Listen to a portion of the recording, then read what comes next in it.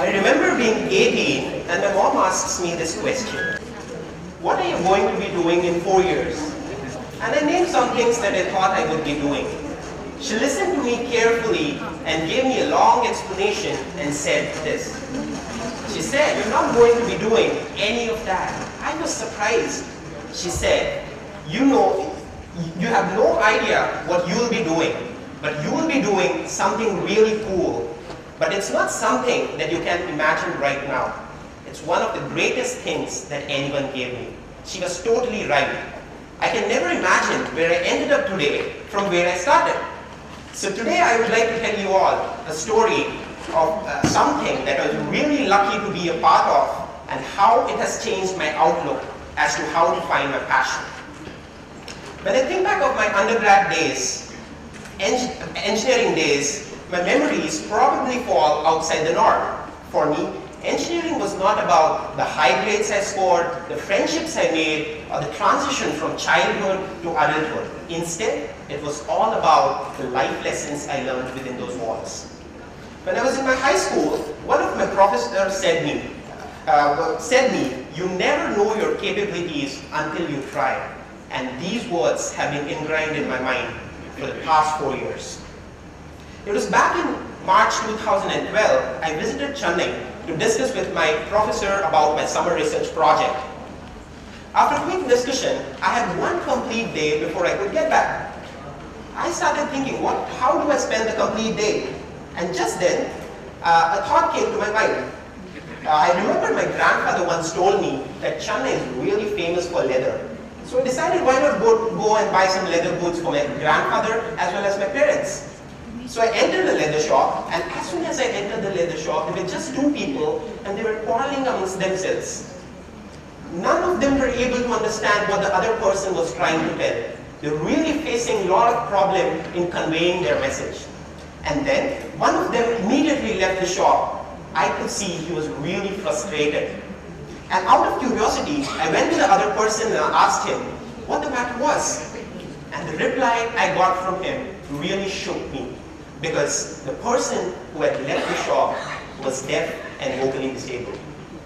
I was heartbroken and this incident kept on revolving my mind for weeks.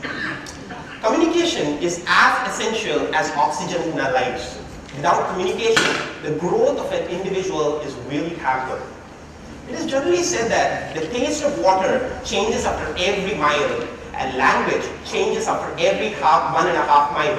And in a country like India, where there are so many languages spoken, we as normal people find it so difficult sometimes to communicate. Imagine how these people who don't have either of the sense organs must be feeling. The deaf and the mute live their entire life not being able to feel normal. Here are some statistics which I want to share with you. According to the World Federation of Deaf, 66% of the hearing impaired people live in developing countries which, who have very limited access to uh, limited access to education and employment.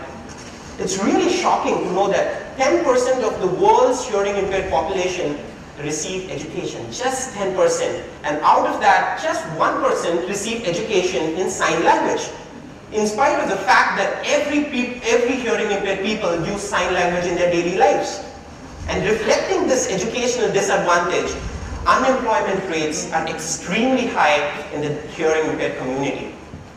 I was really shocked when one of my friends told me that some nation even denied basic civil rights to the hearing impaired community. Are they not one amongst us? Are they not part of a society? So I immediately went back to my college and gathered a few like-minded people to discuss and, and, discuss and share this incident with them.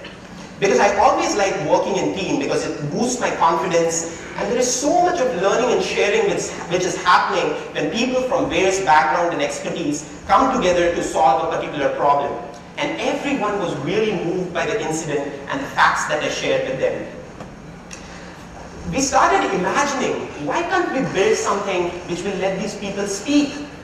Then one of my friends interrupted and he told me, dude, what are you speaking? We know nothing. How are we going to do it? I was speechless because I myself had no experience because I had not worked on any electronics or algorithms before. So I decided to approach a professor. I went to a professor of my university and shared this incident and the idea. So he listened to me patiently and he looked up to me and said, Kuldeep, I think you're the best student of this batch, uh, uh, batch and you have all the capability of getting a gold medal. Why do you want to jump into all this? I want you to stick to your studies and concentrate and get and top the university. And such things will keep coming later in your life. I was in dilemma. I didn't know what to do. I went back home and started thinking, will this really affect my studies? Should I give it a try? And then I remembered what my high school professor said. So I decided to give it a try and stick to my goals and ideas. Because when you give birth to an idea, risks become your best friend and you have to accept it. So I went, so the next day I went back to my friends and convinced them to be a part of the team because I really needed them because uh, a team makes really a big difference. And fortunately, everyone agreed and now we were all set to transform our ideas into reality. So initially, we visited a couple of NGOs who work for hearing impaired people to exactly get a broad view of what are the problems they are facing. And there, I just happened to enter a classroom which was really noisy and there were small kids who were exchanging and talking amongst themselves by exchanging signs. And there I found this poster. And the poster had various signs and their corresponding alphabets displayed. And just then an idea struck my mind. I started thinking, why can't we build something which will convert these signs into alphabets and once you have alphabets displayed, you can form words, sentences, paragraphs and then convert it into voice using text-to-speech converter. I immediately shared the idea with my friends and now we had our goals narrowed down. But we still had two major challenges. The first one was again, how are we going to proceed? Because we knew nothing. And the second one is, how do we make the glove low cost? Because it's, I personally feel it's not a solution if it's not low cost. And if it's not cost effective, I'm sure it won't reach the needy. We were really fortunate and lucky enough to get complete sponsorship from IEEE EPICS community to build a prototype and then see to it that it reaches the needy. So after lots of brainstorming and literature survey, we came up with a final design. So we decided to design a hand glove for the, for the people which has five accelerometers embedded on it and this converts the mechanism of their signs, converts it into text, and finally displays it on the screen. We work day and night from understanding how a simple accelerometer works to designing a complete system full of electronics and running algorithms. We were, it was really fun. We were so curious to know how every component works. And as soon as the courier guy delivered us these accelerometers, we were so desperate to try if our algorithm works fine that we immediately mounted the accelerometers on one of my friend's bare hand to try if our algorithm works. And here's a snapshot of my friend Somshekhar uh, posing in front of the camera with accelerometers on his bare hand. And fortunately, the algorithm worked. Actually, my friend Somshekhar played two roles in the team. He was an electronics designer as well as he was he played the role of a guinea pig because we always tested the glove on him. We were really in, in love with our work. We were enjoying what we were doing. And the only way to do great work is to enjoy what you do. Finally, within a month, we had our first prototype ready. We had a glove which could efficiently recognize and distinguish between signs and efficiently convert it into text and display it on the screen. So I, I, would like to show you a small clip of uh, the results of my first prototype.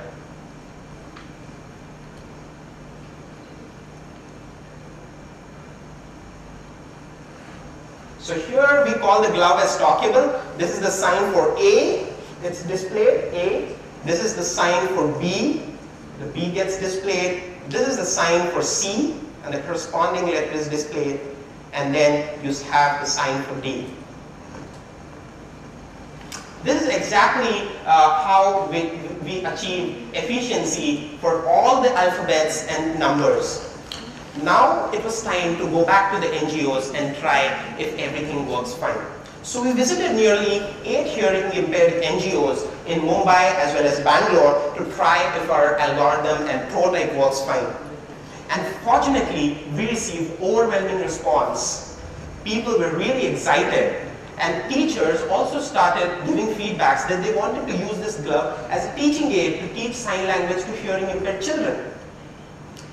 It was really fun and the sense of satisfaction that we got by using our technical skills and giving it back to the uh, deaf and the mute community was immeasurable.